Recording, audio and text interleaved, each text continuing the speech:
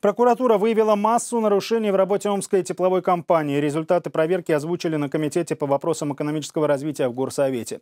Муниципальное предприятие уличили в необоснованной сделке на сумму 7 миллионов рублей с московской компанией «Промкапитал». Она отстаивала интересы тепловиков, когда они судились с РЭК за тариф.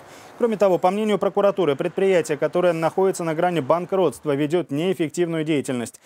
Например, позволяет себе траты на путевки для сотрудников и членов их семей. Только за 2016 год убыток компании увеличился еще на 54 миллиона рублей. Компенсировать его руководство планирует за счет поступлений Омск РТС и оплаты потребителей. Добавлю, что банкротство тепловой компании требует «Газпром Межрегионгаз». Ему предприятие задолжало почти 300 миллионов. Однако арбитражный суд отказался признать энергетиков несостоятельными. Часть долга в размере 90 миллионов рублей все же выплачена. У нас сегодня тепловая компания находится в действительно сложном положении. Сейчас мы решаем вопросы и по кредитованию, и по э, кредиторской задолженности Омск РТС. Согласовали графики погашения значит, э, Омск РТС, значит, кредиторской задолженности. Работа идет своим чередом.